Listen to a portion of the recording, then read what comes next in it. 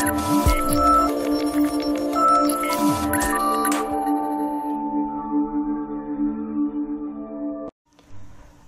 friends, welcome back to our session.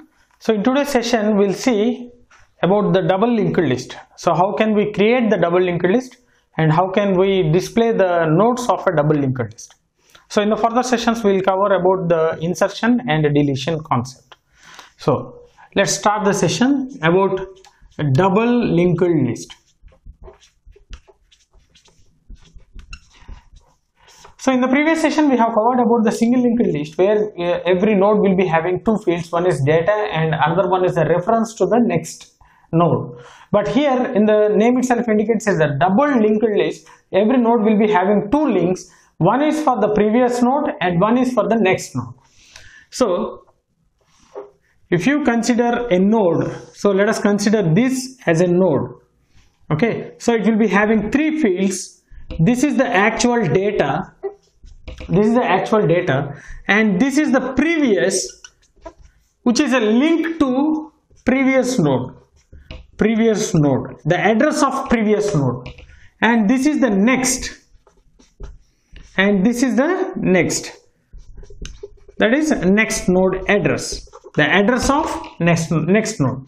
Okay? So here it refers the address of previous node and this is the address of next next node. So every node will be having these three fields. So we have to create a node with three uh, default parameters right? So with th three uh, variables. One is for data another one is for previous another one is for next so if it is a first node if it is a first node automatically there will be a data and the previous is none because there is no previous node. And here it is a none which is the next is also a none right? So this is the first one first node. If it is a second node if you insert a one more node if you insert one more node for example let it be some 10 let it be some 10 right so n1 is a 10 so this is the first node. So there will be no reference to the previous node and there is no reference to the next node. So that's why we have kept as a none. So previous and next as a none. And if you consider if you create a one more node that is n2 so here what? The 20 is the data. Now 20 is the data is the second node and this node previous should be address of n1 okay this node address should be previous i mean this previous should be address of previous node. So what is the address of previous node? Let it be some thousand and here we need to give the thousand here.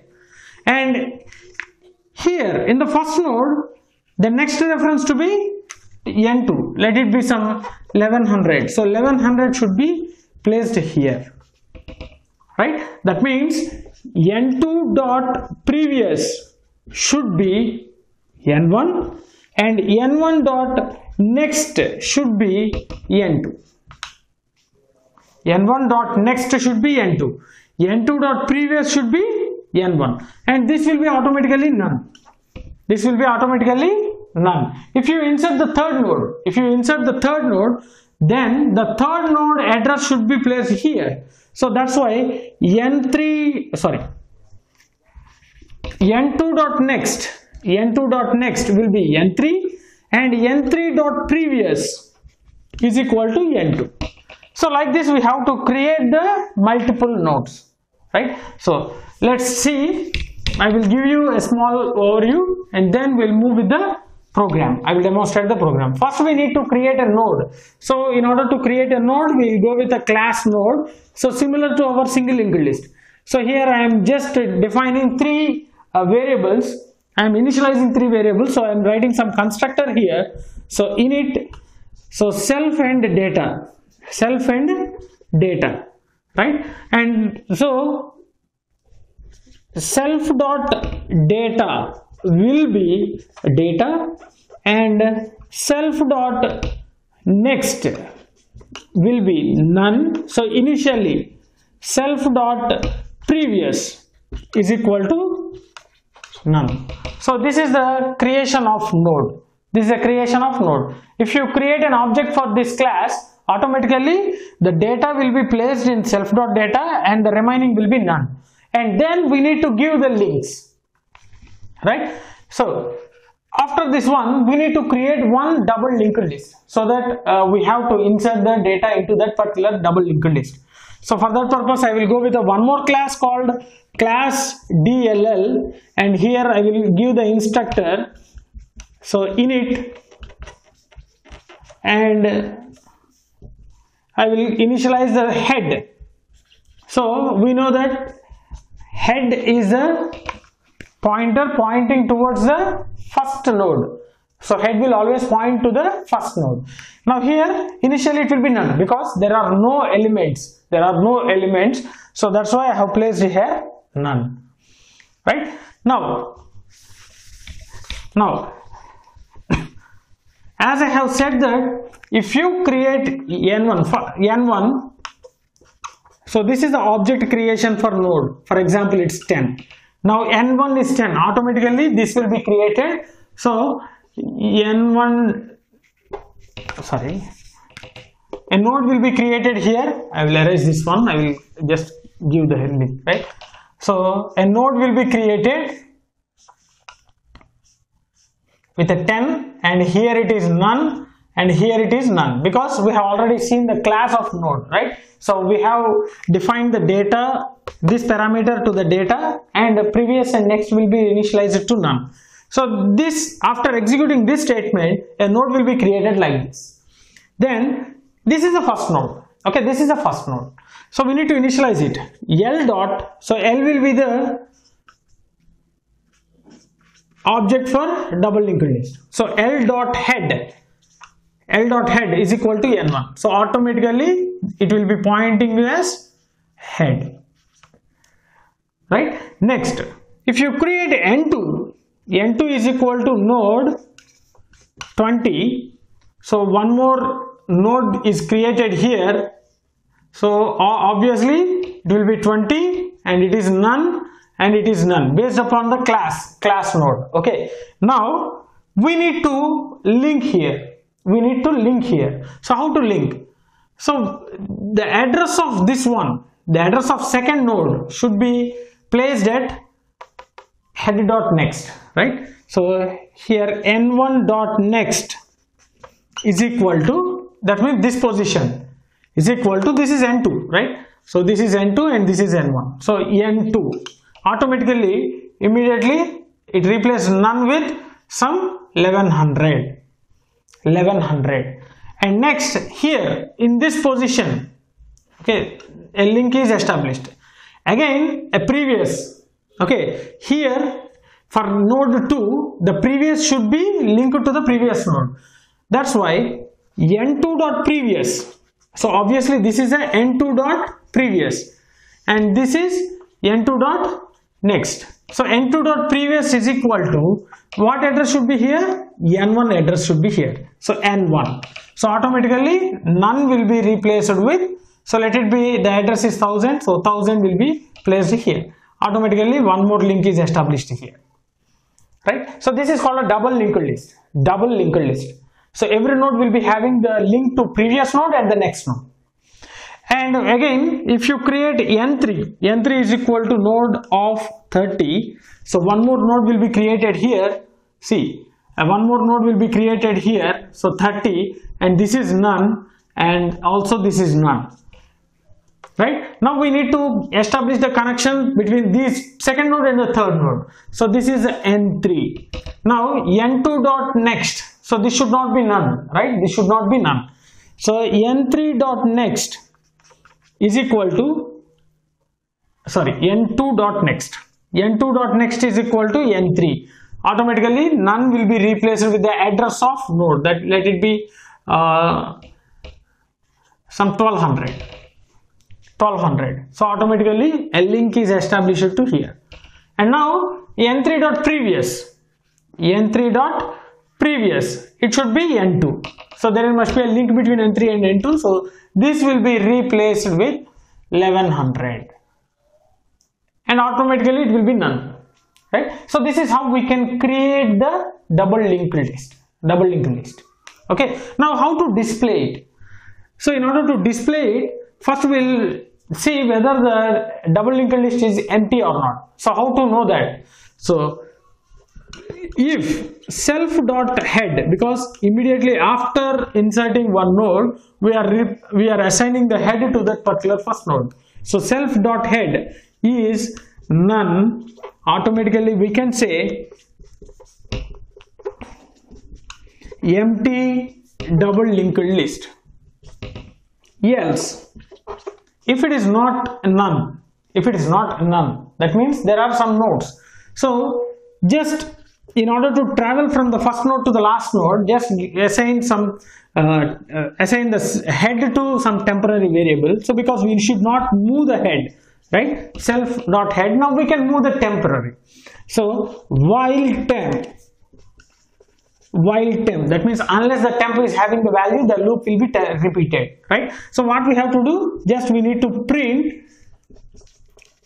temp dot data okay so just uh, for representation i am taking all these parts right? temp dot data and immediately after displaying that we need to move the temp to next one. So temp is equal to temp dot next. So automatically first it will be displayed and immediately temp dot next means it will move to the 1100 this position so again it will check for the value. So yes it is having the value. So this value will be displayed. And again temp is equal to temp dot next. So here temp dot next is 1200 it will be moving here. So again here 30 is a value. 30 will be displayed. Again temp is equal to temp dot next. So here none. So automatically here none means so this condition fails. A temp is not having the value. That means false so automatically it will come out from the loop and it will display as 10 20 and 30 right? So complete you keep all these things in the function called display. Display function. Right? Inside the display function we can write all these code. Right? So hope you understood this one. Double linked list. So creation of double linked list and display the nodes of a double linked list so here every node will be having three fields. One is a data one is a uh, reference to the previous node another one is a reference to the next node. Right? So in order to uh, display we need to check whether the uh, double linked list is empty. Otherwise we need to travel from the first node to the last node by using some simple while loop. Right? So hope you understood this one. So let us demonstrate these two functions that means a create and display by executing a small program. So let's move on to the system. Hello friends. So just now we have seen the about the double linked list. So how can we create the nodes and how can we display the nodes of a double linked list? So in the previous session we have seen about the single linked list. The similar way we will create a node but it here we are having an extra variable called previous. So because it is a double linked list uh, every node will be having the previous link and the next link right? So let's demonstrate the create and display.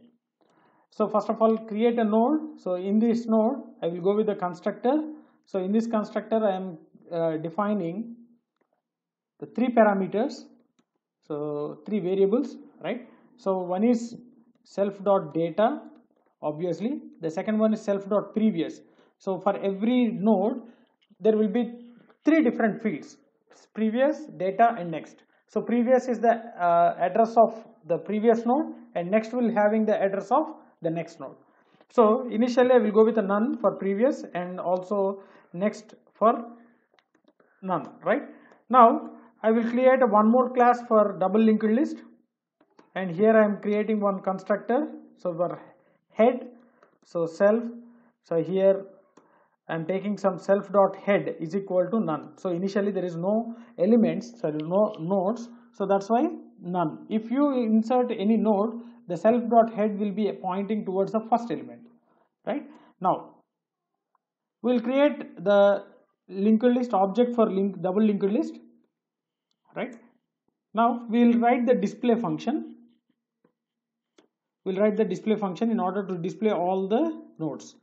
Right so display and if if self dot head is none that implies it's an empty double linked list.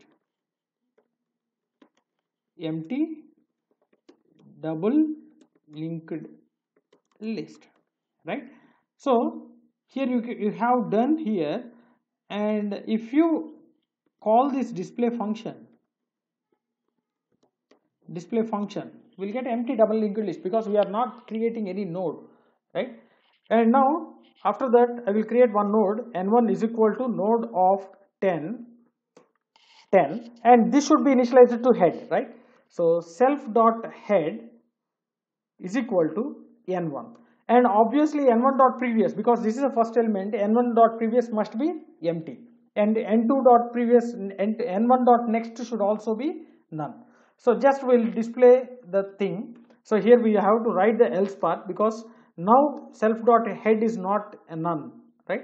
Self dot head is not none now just take the temp variable and assign the head to temp so that we need to travel the temp from first element to the last element. That means first node to last node. So just while temp.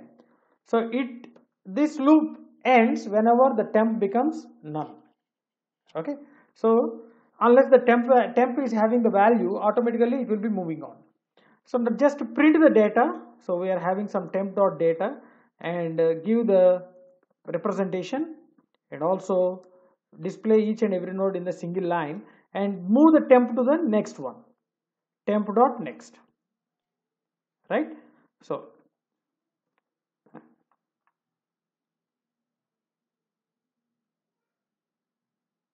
sorry here it is a L L.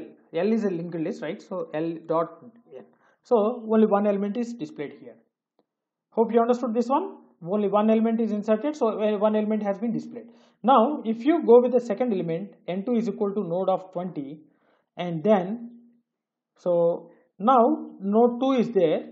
N2 dot previous must be n1 and n1 dot next should be n2 so for the first node the next element will be n2 and for the current node the previous should be previous node so if you execute this one, we'll get up to second value. So 10, 20. And if you go with the third value, N3 is equal to node of 30 and similarly the third node. So N3 dot previous will be N2 and N2 dot next value will be N3. Similarly N4 is equal to node of 40. Similarly N4 dot previous will be N3 and n3 dot next will be n4 so if you execute this one we are getting some nodes 10 20 30 40 so for 20 the previous will be 10 the next will be 30 for 30 the previous will be 20 the next will be 40 for 40 the previous will be 30 and the next will be none right so this is how we can create and display so in the next session, we'll see the insertion. So inserting a node at the beginning or end or in the specified position.